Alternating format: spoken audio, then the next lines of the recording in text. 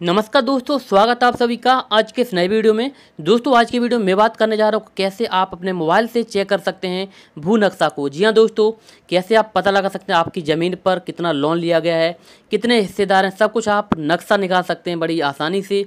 तो चलिए दोस्तों, ना देर करते हुए शुरू करते हैं और देख लेते हैं किस तरह से आपको चेक करना है। उससे पहले दोस्तों, अगर आप इस चैनल पर नए हैं तो सबसे पहले तो आप इस वीडियो को लाइक कर लीजिए। लाइक करने के साथ वीडियो के नीचे सब्सक्राइब की लाल बटन है, इसको तुरंत दबा लीजिए और इसके बगल में ये बेल आइकन दिखाई देगा आपको, इसको इस तरह से प्रेस कर लीजिए। दोस्तों, ये दवा से आपको काफ़ी फ़ायदा मिलेगा। इस तरह की तमाम जानकारी इस चैनल पर मैं डालता रहता हूँ, जो आपके लिए कहीं ना कहीं फ़ायदा ज़रूर देती हैं। तो चलिए अब बात कर लेते हैं दोस्तों, कैसे आप चेक करेंगे? तो चलिए आप अपने मोबाइल में जाइए और यहाँ पर आपको गूगल ओपन करना है। गूगल गूगल ओपन करने के बाद यहाँ पर आपको लिखना है गूगल में जाइए, यहाँ पे आपको लिखना है भू नक्शा, ठीक है? उसके बाद अपना स्टेट आपको लिखना है। आप जिस स्टेट के रहने वाले हैं, वो स्टेट आगे लिख दीजिए, बिहार, यूपी, झारखंड, जिस जगह के वो लिख लीजिए। तो मैं उत्तर प्रदेश से हूँ तो आगे यूपी लिख देता हूँ और आपको सर्च कर लेना है।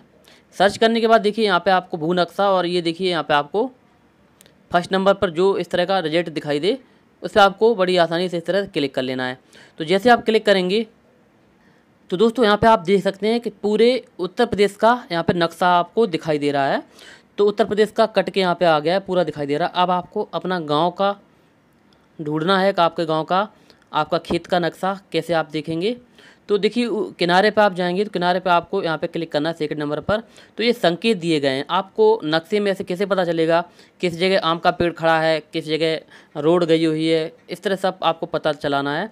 तो ये सब यहाँ पे दिखाई दे रहा है। यहाँ पे आप इनसे पता लगा सकते हैं किस किस जगह क्या क्या है। तो यहाँ पर आप सब कुछ यहाँ पर लिखा है। ठीक है दोस्तों? तो यहाँ पर आप देखते ओल्ड पार्टी, आबादी, ठीक है, ये सब इसका मतलब है। तो चलिए यहाँ पे बैक कर लेते हैं। अब यहाँ पे दोस्तों, अब आपको क्या करना है? यहाँ पे आपको अपना जो उत्तर प्रदेश सेलेक्ट है, उसके बाद ज़िला सेलेक्ट करना है और तहसील, उसके बाद अपना गाँव, जो भी आपका गाँव है, आप वो गाँव को सिलेक्ट कर लीजिए। नीचे आपको करना है सो लैंड टाइप डिटेल तो जैसे आप क्लिक करेंगे तो कुछ इस तरह से ओपन हो जाएगा। तो देखिए, आपके गाँव में जो भी डिटेल है, वो सब यहाँ पर आपके सामने आ गई हैं। तो यहाँ पे वो सब जानकारी लिखी हुई है कि कितनी बंजर ज़मीन है और कितनी यहाँ पे देखिए आप पढ़ सकते हैं, उपयोग के काम में लाई जा, जाती हो। कब्रिस्तान, शमशान, इत्यादि सब कुछ लिखा है क्या क्या है, सब आबादी के बारे में जानकारी दी गई है।